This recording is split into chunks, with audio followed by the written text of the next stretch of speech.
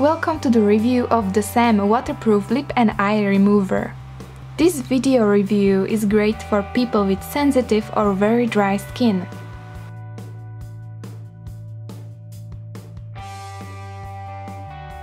Having a skin disease myself, which makes your skin extremely sensitive, dry and easily red is very tiresome. I always try to test products before buying, as I have an allergy reaction almost to everything.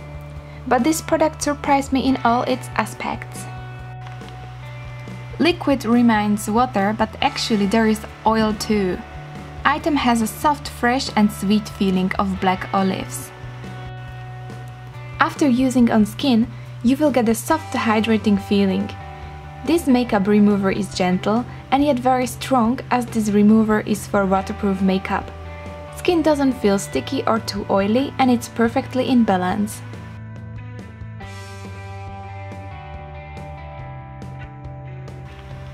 I will test it on waterproof and long-lasting makeup.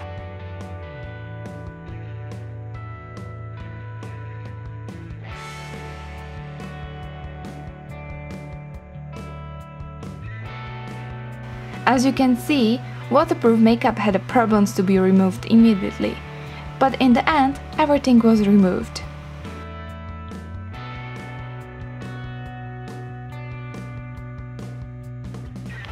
I don't feel guilty when I tell you that I'm using this remover also for my whole face. It's perfectly gentle and first time in my life I didn't have to use cream right away after makeup removing. All makeup removers removed my makeup, but it dried my skin and I felt skin stretching. Sorry, but I didn't find anything negative about this product. I hope you enjoyed my review and I hope it helped you. Have a nice day. Bye!